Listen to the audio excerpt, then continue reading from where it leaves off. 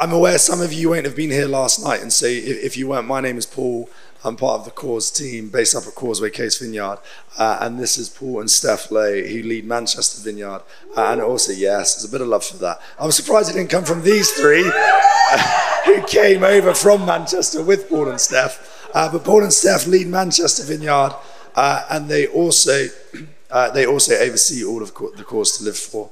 And so we just wanted to, um, to, just to spend a little bit of time having a conversation, uh, mining them for some of their wisdom, hearing some of their story, uh, just before we break for lunch. I, I will say very quickly, we will wrap this up by half past 12 so that we'll be able to go and get some lunch. I know some of you will be sitting there going, my tummy is rumbling, would they shut up? Uh, and so we will we'll wrap it by about then.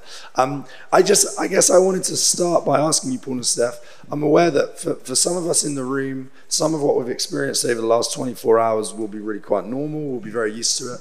But for others of us, others of us in the room, maybe uh, some of the encounters with the Holy Spirit that we've experienced uh, it might be the first time we've had that, uh, and, maybe seeing some of the way that God poured out His presence last night again might be a little bit new for us. And so, uh, I, I, know there's power sometimes when, when we hear people's story, and then we can hear ourselves in uh, in their stories. And so, I guess we'd just love you guys to share a little bit of how did you first come into uh, encountering the Holy Spirit? What was that like, and, and how has that developed for you guys? Maybe over the years. Let's start there. Shall I start? Okay, so I'll start because I encountered the vineyard um, much earlier than Paul. Um, so I can't really remember life before being part of the Vineyard Church. Um, my family found the vineyard when I was maybe seven or eight. Um, and so I've been sort of immersed in in vineyard and, and how we do um, ministry and how we encounter the Holy Spirit right from the earliest days. So for me, it's sort of been just the fabric of my life, really. And um, my mum and dad loving Jesus, praying in tongues in the in the home, um, being open to moves of the Spirit was always, um, yeah, commonplace for me. Um, so I think probably you'll have more more of a story of, of, of not knowing and experiencing what it is to, to sort of live and be raised in a context of the Holy Spirit.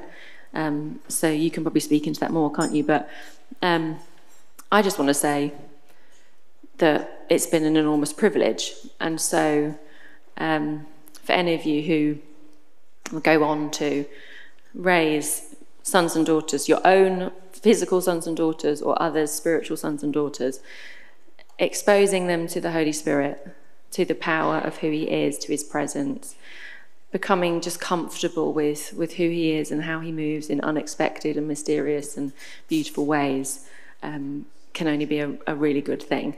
Um, I'm hugely grateful for the the heritage that I have and um, my parents' pursuit of the Holy Spirit. Actually, they when they when they met each other, they neither of them had a faith. And about six months before they got married, they had a profound encounter with the Holy Spirit, which they now look back on and can say it's the Holy Spirit, um, which anyway triggered them uh, in a response in them to, to to work out what on earth that was. Found a church, ended up finding Jesus, being baptized pretty much overnight, and giving their lives to to to, to God. Um, and then we're on a kind of a pursuit of finding the Holy Spirit. And so that's, yeah, and they've never departed from, from that. So, yeah, do you want to add? Yeah, I um, grew up in a church that really didn't believe in the Holy Spirit. Um, and I didn't really realise that until later on in life. But there, there, was this dear lady, she used to be about six rows front, uh, from the front on a Sunday, and she'd stick an arm out like this and everyone would look at her. Uh, and that's that's kind of that we were quite conservative, so one arm out, one person was like a significant problem. Um, so I bumbled through life till about 19 and went to play football in Manchester. Didn't know that I was going to this thing where a load of people were worshipping Jesus, and I encountered the Holy Spirit in a way that changed my life forever. Um, and Steph introduced me. Well, actually, we met each other the next day. Um, God did me good one there. Um, uh, many, well, then went along, Steph took me along to the vineyard and I walked in and I was like, what is this thing? Um, I'd never been in anything like it. Uh, and found I was a real mess. Like my childhood was very complicated and I was a very, very broken person. And I just, my, my only thing really is I wish somebody had told me sooner uh, that there was a way to find healing and wholeness and life. Um, and it changed my life. But I think the thing that was fundamental to that was worshipping Jesus. I've, I've had counseling and cognitive behavioral therapy, and I've met with small groups of guys who've prayed for me over many years, and I'm all for it, and it's wonderful. But if I was to say single handedly the thing that has changed my life, it's been environments where I've worshipped Jesus, and I've took my attention from myself and I've put it onto Him. And, um, and then at every single opportunity and every single moment, responding to the Holy Spirit and asking people to pray for me. And I, I just give you a, almost a picture of my desperation is uh, every Sunday, I didn't even know what really happened, but this guy in a rugby shirt would speak, and at the end, he'd say he wants to respond to the Holy Spirit. And I'd, I'd respond. And literally every week, I reckon I cried every week for years and years and years and years. Um, and I'd do it everywhere, small groups, wherever it was. I was like, can we do that thing that you're doing? Because this is changing my life. and um, there was one Sunday where he said, there's a, there's a lady in this room who's struggling to conceive. And um, nobody responded that Sunday, and it was just me. And uh, I, I obviously just I need you to know this. I know you know this, but I wasn't responding to that word. But I was like, I just, I just want, I want the Lord, and I'd found a way to engage with Him and interact with Him, and I. Ever since, it's been a joy to keep having that myself, but also to help other people realize. Well, I guess my only thing really is, I just wish somebody had told me sooner that you can have a real living relationship with God through the power of His Holy Spirit, and it's, it's yeah, mm. it's everything. Yeah, and just to add to that, I think one of the wonderful, one of the many wonderful things about the vineyard is our, is our, our theology, our kingdom theology, and our understanding that God is one in three persons, Father, Son, and Holy Spirit, and so um, we, yeah, it's just pertinent that we embrace all three, um, and we just a little little story um, about our youngest daughter. She, I don't know why or where it really came from, but she's basically just absolutely obsessed with the Trinity. just, every every answer for everything is the Trinity, isn't it? It's just so great. So this was probably like when she was so back when she was about five, a couple of years ago. I could hear her cutting, rustling in her room lots of shuffling of paper and things. And I went in and she'd, she'd drawn three circles and cut out three circles and she'd written um, God, Jesus, and Holy Spirit on, on each of them. And she was like, Look, if I put them on top of each other, it's one. And then it's three. And it's one. It's three. It's one. anyway, she, um, yes, her heart's been captured for um, Father, Son, and Holy Spirit. And um, she, even from the earliest days, has been I think just pressing in to understand what that means, what it means to have a God who is Father, Son, and Holy Spirit, and the, the, the personhood of each member of the, of the Trinity. And so, uh, yeah, just an encouragement to absolutely embrace three persons um, of the one very good God that, that we worship. Yeah, if you say, I love you, Jesus, she's like, yeah, and God and Holy Spirit as well. It's like, almost can't say anything without. Anyway. Yeah. Adding in the whole. Makes yeah. the preachers longer. Yeah, it makes every conversation longer. um, I want to pick up on something you were sharing about there, which was uh, just the brokenness with which you came before the Lord. And, you know, our heritage as a, as a vineyard move is just a bunch of broken people burnt out, coming before Jesus, singing simple love songs to Him, being captivated by Him, and, and having their lives changed. Uh, and I guess in an age where, for many of us in our 20s and 30s, we, there's a desire to seek authenticity, which is, you know, I, I love that. And, and actually, part of that is us being honest about the fact that, that we are broken and that, that we need Jesus. Um, what would you speak in, I guess? to us in that sense of how do we come in our brokenness, but also so like serve in our brokenness, but kind of hold that tension of doing things wisely what does it look like to have the Lord meet us in our brokenness? Just speak into that. Yeah, I've I've always loved something about the vineyard because they just love me, and they didn't ever ask me to leave. And I've been in church environments where they really didn't want me to be there, um, and did ask me to leave. I was so broken. My dad was an alcoholic. He was quite abusive. My parents split when I was two, as I said last night. And I lived out the pain of that in every environment that I went into. I was really quite challenging in my school environment and probably in the, in the church environment. I remember I used to have, there was, um, in Sunday school they called it then, there was five of us in the group and there was three leaders. I had to sit on one person's knee while one person held me either side because I was, I was just troubled, um, deeply troubled. And the older I got, the more that came out. Like my prayers when I was little was, was Dear Lord Jesus, please make my dad come back and live with us until I realised I didn't want him to live with us. And then my whole world fell apart. And my faith fell apart because it was based on a prayer and a deal rather than on a saviour.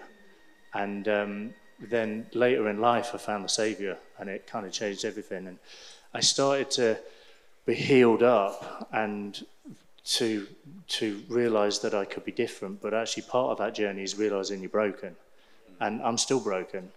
I'm really broken. I'm a leader now with a limp, and I'm very. That's, that's out. Our church could tell you that. You don't need to go very far. Steph could tell you that. But I, I think it's the realization that I'm not who I was, but I'm still not who I'm meant to be. I'm still on this journey, and I'm pressing in for everything within me to deal with my stuff and to own my stuff and to realize like I, I still find Christmas really hard. Like some environments kind of bring me into this little child place where some of my brokenness spills out, but actually owning that and trying to deal with that and trying to have people close to me speak into that to be the the wholest person that I could be and who he's ultimately created me to be because hurt people hurt people and free people free people and unless we transform our pain, we transmit our pain. And so we've got to do something about it. We've got to, we've got to deal with it. I, I owe it to you that I deal with my pain, but I owe it to Jesus that I deal with my pain. And I've, I've had the incredible privilege of having some people that haven't left me in that. You know, like Steph wasn't in my hurt, but she was in my healing. Mm. But she wasn't my healing. Yes. She pointed me to Jesus. And I think you need people around you who love you and believe in you and for you and can kind of dig in for the gold that is there. But some of that, I would say, is actually owning it ourselves, mm. saying, Do you know, I'm, I'm, I've got some stuff that needs to come before Jesus. I'm not going to settle for who I am and where I am. I'm going to try and do something about it. I think that's so good to, to pick up on a couple of things you just you said there. One was just towards the end that Steph was with you in your healing, but wasn't your healing. And I think actually that's so key that it's really easy for us to look to other people to be our healing. And God uses community and He uses the relationships around us, but it's it's only ever Jesus. And uh, and especially in in the context of romantic relationships for for people who are coming out of hurt and pain, they they can be a source of healing, but actually it's really important that yeah. that to love each other well is to point each other to Jesus. So that's so key. Steph, did you want to jump in there? Yeah, I was just about to add that. Um, so whilst Paul and I had very, very different upbringings, um, that that didn't mean what you know. I had a wonderful home life and um, family, parents who loved each other, uh, still do. It's glorious. Um, that didn't mean that life wasn't painful for me also. And so, um, whilst home was my refuge, um, school was awful. Um, I was pretty badly bullied through much of my school life. And that had a profound effect on, on me. Um, and so when we arrived in Manchester in 2000 at this um, festival, Paul was 19, I was 16, we both came fairly broken in different ways, and we both encountered the power of God in an extraordinary way.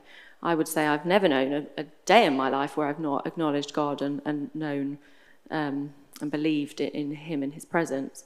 But it was in Manchester that I experienced the had an encounter with the Holy Spirit that was so different and so profound that it changed everything. Um, it was a kind of a, we made a choice, I think, in that moment to be like, I'm all in. Um, no compromise, no looking back, no messing about. I'm in. I'm all in for this kingdom life and following Jesus. And I think it was in that in that moment, what came off the back of that was um, a real refining process. But we had to make a choice.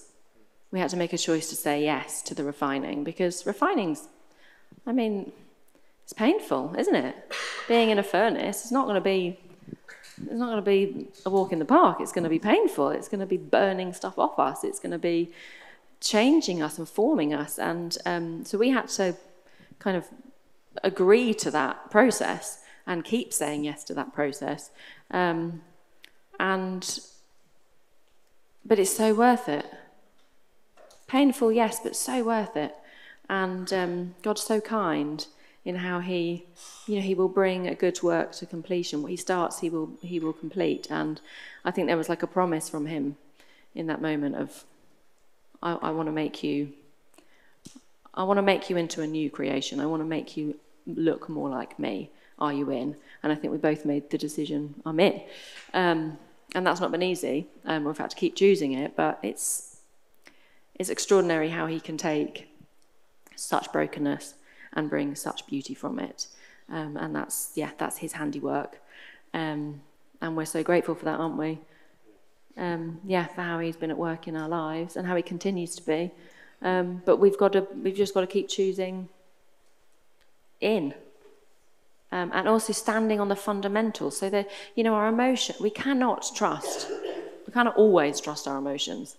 Um, our feelings will lead us in a whole array of directions and, and cause us to, to, to feel or, or think about ourselves, a whole range of things that may not be true. We've got to learn to stand on the fundamentals of, of God's promises and, and learn them and rehearse them and speak them over ourselves, even when we don't, we can't see it or we don't necessarily believe it. Just keep standing on the fundamentals of God's goodness and His promises for us, um, because those are the things that will anchor us in the in the storms. That's so good. We'll um, I, I want to pick up on that in a moment, but before we get there, I think I just want to say to the room, hopefully, what you hear in, in Paul and Steph's story is the redeeming work of God, and I know that there'll be many of us in the room who, as they share different parts of their story, go, "Oh, that's." I, I hear myself in. Maybe it's Steph's experience at school or Paul's experience in family, or maybe it's a different uh, kind of brokenness that you're coming into the room this weekend in. And, and I, I hope what you're hearing from it is that the, the Lord can redeem it. He can bring healing and He can still use you. Uh, and I think within that, you know, as you guys were sharing about your daughters and uh, you know, I love your kids and spend some time with them. They are they are just amazing. And, and when I, am around them, and I've got two young kids myself, like my hope is that they grow up knowing and loving Jesus and knowing the Holy Spirit from a young age. But when we hear that and we haven't had that, it's really easy to discount ourselves and just go, oh, okay, well, you know, I didn't have parents who loved Jesus. I didn't have parents who encountered the Holy Spirit and showed me about it. The, the Lord can still redeem it, and that doesn't have to be what you pass on to your kids if the Lord brings you children uh, and see it's that redeeming work. You... I was, yeah, I was just going to say, I remember, you know, you often, in a small group, they do those little icebreaker things where I always find them a bit awkward. but um, I remember we were sat in once and the guys leading it said, they, everyone had to go around and say, are you more like your mum or more like your dad? And I was at the end of the line and I was just increasingly becoming more pained and more challenged. And it got to me and I just burst into tears.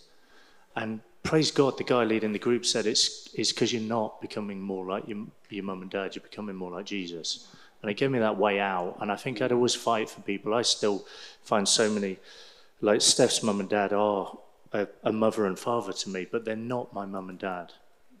My mum and dad are my mum and dad. Actually, my dad's died now, but there's just there's brokenness, but I can I can see that and I can acknowledge that and I can live through that but ultimately, I'm becoming more like Jesus. I break a generational line and I step into the story of God. And I think that's an incredibly important thing.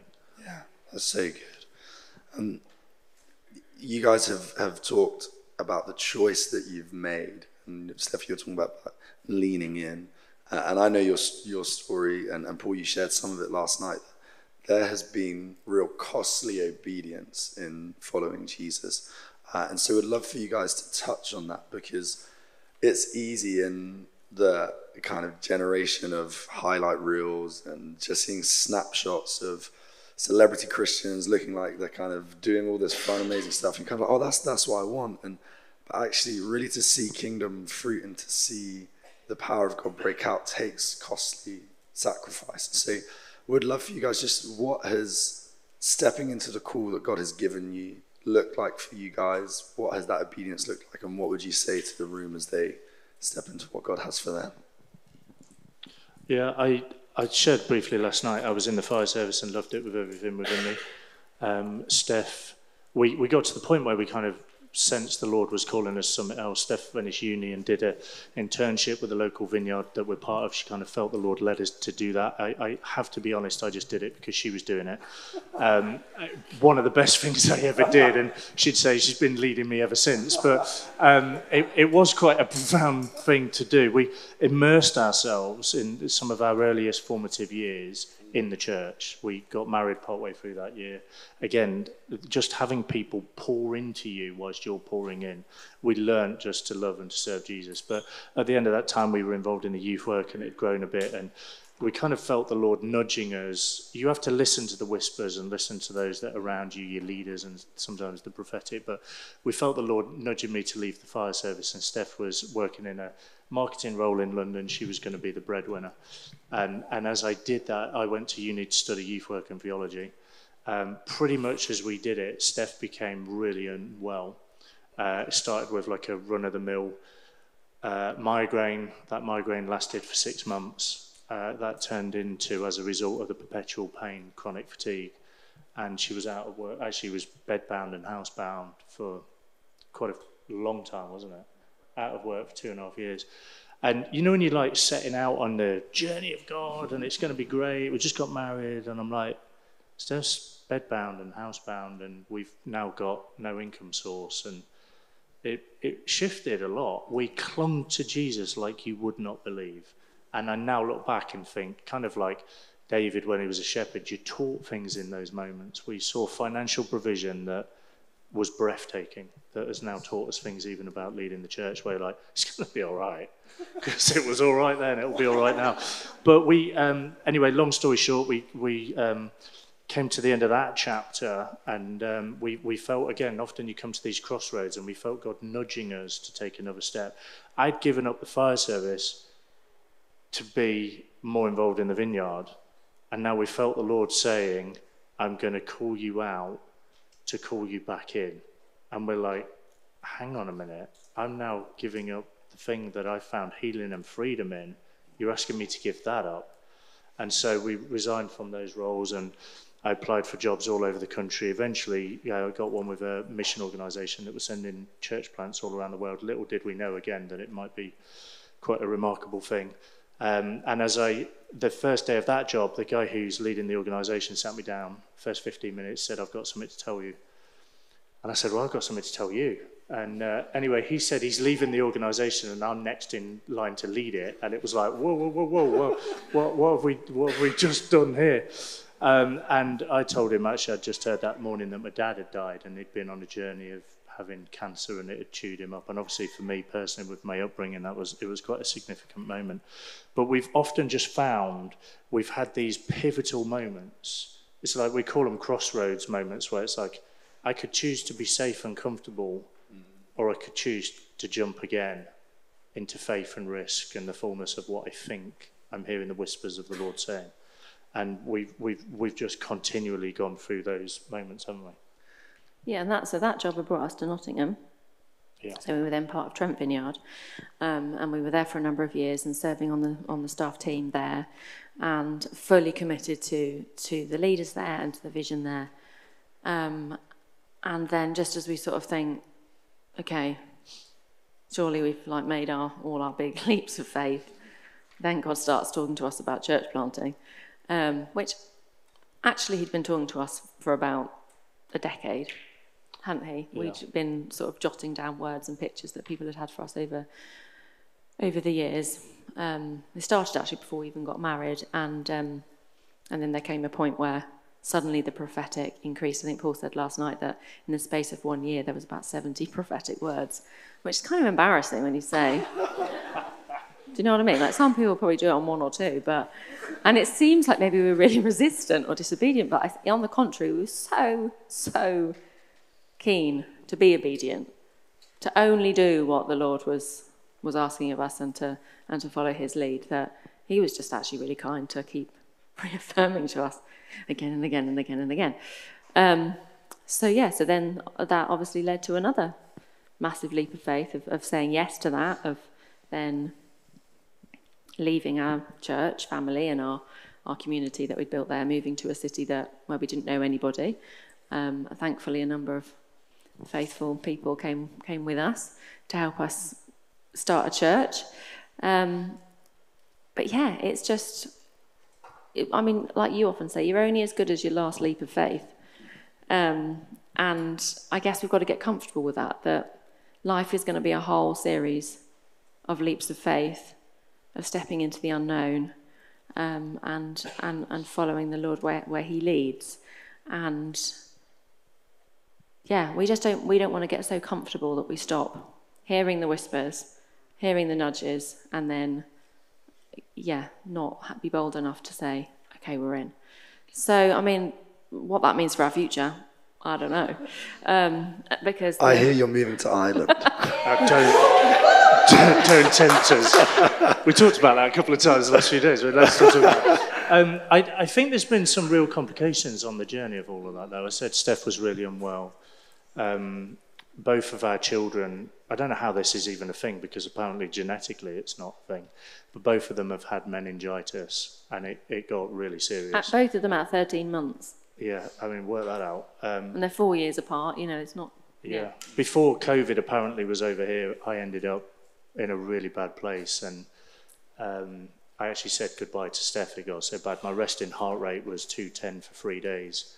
Um, I ended up having three months off work, couldn't really walk or talk. I said a couple of words every day, and I look back on it, and I think I would use the language of I thought my mind had gone. But obviously at the time, my mind had gone, so I wouldn't have that language. You know, people are like, "Oh, you rest, and you must be just praying and worshiping," and I'm like, "I'm really not in a in a good place here." Um, so we've we've definitely found and faced some challenges, but alongside that, I, I think is it Jesus said in John to the disciples, Blessed are the eyes that have seen the things you see. We have seen the kingdom of God break in in the most profound, miraculous ways. And we have to fight to stay in the game to see those things. We've got to fight. Like, yeah, there'll be some resistance, there'll be some challenges. Sometimes it's hard. We have to fight to stay in the game. And I remember just before that moment of, of getting really ill, we've done this kind of thing in the city called 422, where we've, we, we've, we've always just sought, as I was saying last night, to serve the last, the last and the least, and to give everything we've got to the poor. And this thing we've done with this building, you, you wouldn't do in the natural. Um, it's been about a million pound in cash and a million pound in resource um, to create this centre that doesn't benefit the needs of the church, but it does serve the city. We kind of need a building of our own, but it's like, hey, let's prioritise the city. Anyway, um, middle of the night, I wake up and I'm fully awake. You know, you're like, I'm not dreaming, I'm fully awake. And there is this being in the room that was in the room but didn't fit in the room. And it was just shards of light that seemed to go for eternity as I, I looked at them. And I would now use the language of maybe it was an angelic being. At the time, you're like, oh, what is going on here? Um, and anyway, I, I kind of had a verbal conversation where it was like, do you doubt me? And I'm like, I don't, don't doubt. Mm. And in my head, at this moment, if, if I was to doubt anything, it was actually this thing we've done with 422 has been a real challenge. It's cost us financially, it's cost us time, resource, it's, it's cost us personally just with the depth of yearning that you have to pour into these things. And um, I didn't want to be like mute, you know, like Zechariah, where you're like, I doubt you. So just in my head, I was like, if I doubt anything, is 422. Anyway, room goes back to normal, and Steph's always been like, why didn't you wake me up with this thing? But room goes back to normal, whatever that even means, and I look at my phone, and it's 422 in the morning. You know, just sometimes you get these moments of God just gives you a glimpse of go again. Have hmm. faith again, trust me again, believe in me again, repent of your unbelief again, fully step into what the Lord has. And the, the journey that's now unfolded with that has, has been at multiple points miraculous provision. But I'd, I'd always want to cheer people on for sometimes it's hard, but I think he, it says in Hebrews, re, renew the um, renew the grip of your hand. You know, strengthen the grip of your hand. Go again. Don't don't give in. That's, that's it's just amazing to hear your guys' story, and I, and I think it's it's encouraging for us because the danger is that when we step out into whatever God has called us, and we'll touch on this in, in a bit more in, in, a moment, that for many of us, we're not called into the church, we're called into other kingdom activity. Um, but the reality is, we will experience resistance, we will experience difficulty, and we need to be resilient to stand firm. You, read through the New Testament, the Apostle Paul especially talks a lot about standing firm in the faith. Uh, and actually, that's what you guys have done to say, you know what, for, at different stages, you could have very easily been like, actually, this is too costly. Uh, you know what, we need to prioritize the kids in this moment, or we need to, we don't have any income, we've got to just do something else. Be like, no, we're going to stand firm in, in, what the Lord has called us to. Uh, and Steph, you, you were sharing just before this when we were talking about it, just around the fact that, you know, for some of us in the room, we will be called into the church, and that's wonderful. And as the, the, the vineyard, we our church planting movement, we are about raising, releasing people into ministry. But also, many of us will, will be called elsewhere. Uh, and but all of us are called into kingdom work, and, and as we step into that, all of us will still experience some of that buffeting and some of that resistance. You just want to speak into that in the moment and maybe encourage people who are sensing something? They're like, maybe it's not church. Yeah, I think it's just really important to acknowledge that, that we, like Paul was saying last night, we have all been called. And I think sometimes there's some sort of confusion around even the, the word calling. I think it somehow uh, along the way has become synonymous with church ministry. Um, and that needs disentangling because we are all called. Um, and what we're called to will look completely different. There'll be a whole array you know, thank God we're not all called to the church because we need to be in the world too, you know. Um, and some people will be called to to the healthcare service, to being social workers, to you know, just I mean a whole range of things, business people. Uh, we need to be in all the different environments so we can actually be the hands and feet of Jesus in the world. So, in terms of calling, we all have a kingdom calling. And I think it's really important to differentiate between kingdom calling and like calling to ministry because that's just one that's one calling of many callings. Um, I yeah I for us we we never we never imagined this for our lives.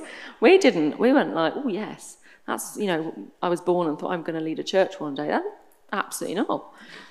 Couldn't think of anything worse for quite, quite a long time. Um, no interest in leading a church. Um, looked actually really hard. Um, but ultimately, we've got to partner with what God sees and what He wants for our lives, and, and that's what He had marked us out for. Um, so I'm, it makes it sound really gloomy and I'm, you know, doing something I don't like. It, that's not the whole story. I started off in a place where I was like, that's not really what I'm imagining for my life. And then, you know, God starts to speak and he puts us in environments and in soil where we're kind of trained and nurtured, you know, in preparation for what he's moving us into. And whilst leading a church is at times hugely costly, it's also an enormous privilege. And I wouldn't want to be anywhere else other than at the centre of his his calling, his plan A for my life. Um, so yeah, it's just it's determining what what what is it that he's put on you specifically, and then running headlong into that with him. And like like Paul was saying, you know, there's going to be resistance for all of us wherever we're in agreement with what what it is that God has marked us out for. Um, but the promise is, and Jesus himself said, in this life there will be trouble. So that's, that's a certainty. There will be trouble, there will be pain, there will be challenges. But take heart, I've overcome the world. We, the, he never promised that life would be easy, but He does promise to be with us. And that is everything. Um, so, whatever God is calling you into, whether you kind of like the shape of it or the look of it or not particularly, just trust Him because honestly, He has the best ideas. And ultimately, I mean, he, He's the one who's crafted us, formed us. We are, it says in Ephesians, we are His masterpiece. So, if He knows us, if He's created us, then really He, you'd think, would be the best one to determine how we're going to be used and, and how we're going to live out our kingdom kingdom calling. So, so I just say, cling to Him, look to Him, trust Him, ask Him, Lord, what is it you determined for my life? What is the what is the race that you've marked out for me? And then help me run it, and help me run it with perseverance. Yeah, and we've we've always said that the the uh, meeting place is the training place for the marketplace. You know, come to the church, give it everything you've got to be fully trained up and equipped to then go and live it out. And I remember um, the vineyard was revolutionary for me with that. I was like, whoa, this thing isn't just for in here, this thing's for out there. So I'd go back into the fire service, which honestly was the most unbelievably dark environment to work. It was so sexualized and complicated, some of the people I used to work with. And, and so I, I needed to find ways to swing stuff from that to the kingdom. And um, I went on a mission trip to Albania with some guys in the church, and I got there and they didn't have anything like fire station, fire engine stuff. So I went back to the fire station I worked at. I was like, guys, I think we could do something here. And we ended up taking two fire engines out and a load of equipment, and driving them around Italy was like one of the best days of my life. But um, but honestly, you, it's like, how can I change my workplace? How can I be salt and light? How can I be the light on the stand? And how can I actually intentionally realize I'm called to, to make a difference? And so I remember the, the last day I worked there, there was this dear lady, um, Caribbean lady, she was in her 80s, who was the cleaner, and she burst into tears. And I'm like, why, why are you crying? She's like, because you're leaving. And I was like, why are you crying about that? Um, and I, she said, because you're one of the only people who talks to me. And you know, you're like, you don't realize the impact you make on someone's life. You've got to sow seeds and sow seeds and sow seeds, knowing that actually it's God that causes them to grow. But we get to make a difference in people's lives. We get to be salt and light. We get to extend the kingdom in whatever environment He's placed us. But we've got to do that, and we've got to do it intentionally also, just to say, you being in the fire service, um, you sort of started off, didn't you, as um, I think you were the, the, the, youngest fireman in the country at the time or something, weren't you? And um, anyway, so you'd, you'd gone in as a Christian and probably the most ridiculed fireman there could ever be. Um, and by the time you left, he, he was hugely respected because he had said, I'm a Christian, and this is what it means to be a Christian, and then they'd lived it out and had, you know, of, of course, not perfect. I'm sure there'll have been moments where you might have wished you'd done more or said more or whatever, but they they they understood that this is what it looks like to, to be a follower of Jesus. Um, and yeah, by the end, they, they hugely respected you, didn't they?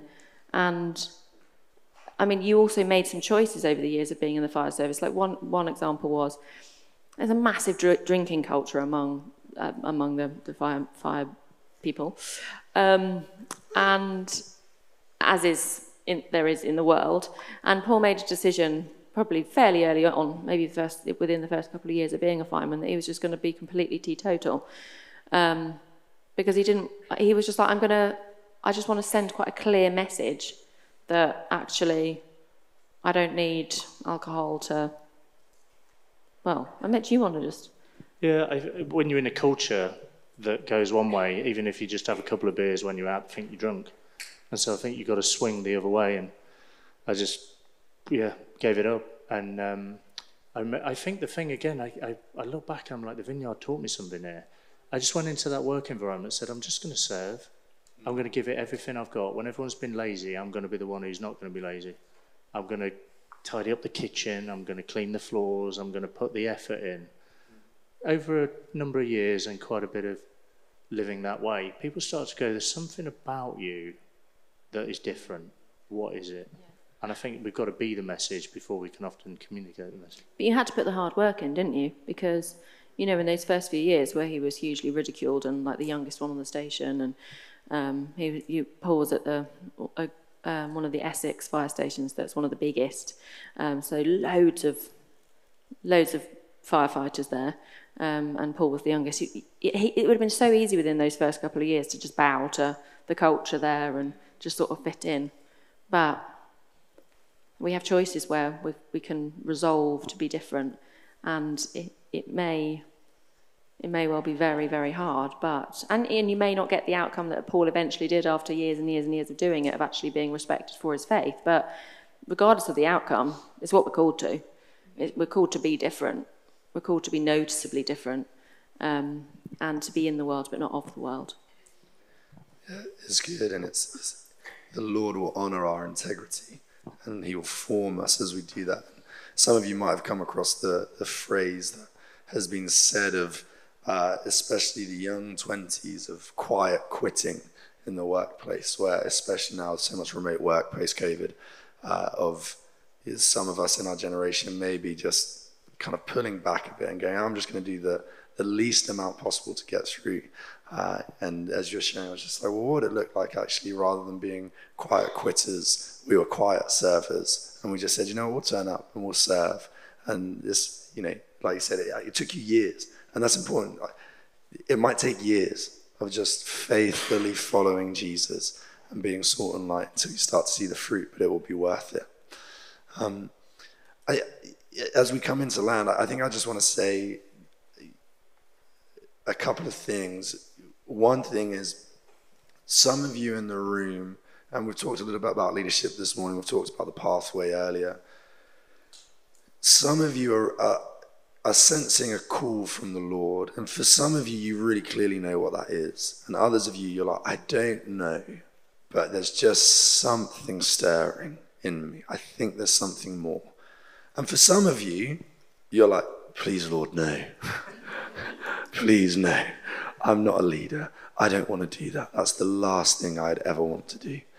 Uh, but you just know that you know that the Lord is just beginning to stir something. Uh, and if that's you, then I would really, really encourage you at some point this weekend, grab someone, ask them to pray for you, ask, ask for the Lord to fill you and speak to you, and come and have a chat, especially with the pathway guys the, the pathway isn't the be all and end all, but it is an amazing resource that's there for you to help explore what God might be calling you to. Uh, and that could be leadership in any sphere. We've talked about that.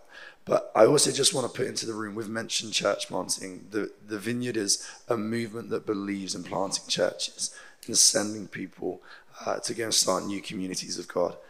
And the, the truth is, we need us in the cause generation to consider it to go for it if we still want to have healthy, thriving churches in the next 20, 30, 40 years. And so I passionately believe that there will be people in this room and there'll be people through, as we do Cause Ireland, who God will stir to plant churches.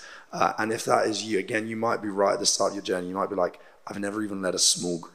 How could I ever lead a church? I don't know if I could ever preach the Bible. How could I lead a church? But again, you maybe are just feeling a stirring. Would love to invite you to come and chat to us, especially come and chat to Paul and Steph.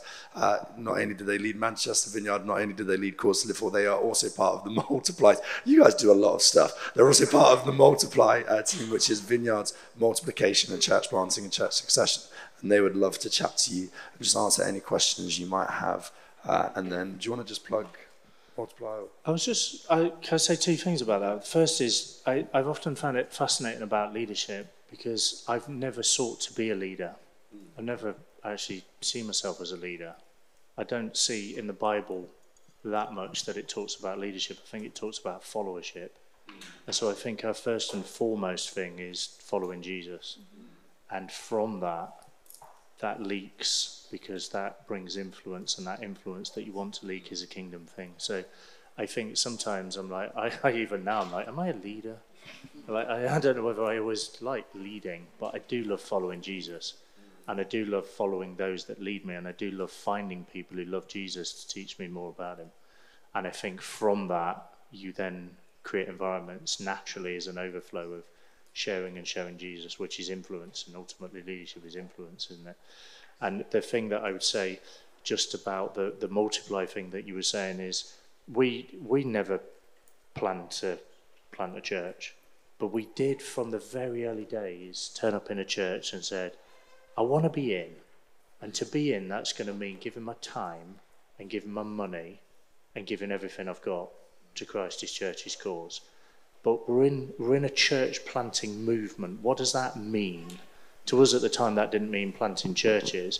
That meant being faithful with the thing that was ahead of us, following the leader that was ahead of us, getting in a small group and helping them plant small groups, and then one day leading small groups that would plant small groups. But whatever we're doing, we want to be multiplying it. We want to be growing it not because we think that's a good idea, but because that's the kingdom principle. That's what we see and that's what we read. And so I think I, would say to anyone, don't, don't worry about the thing you will do. What, what can you be doing now? Mm-hmm. Follow the leader in front of you.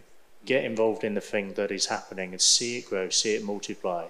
Because those that are given much, much is expected, but it starts with a small thing. It starts with just being faithful with the thing that's in your hand. So, mm.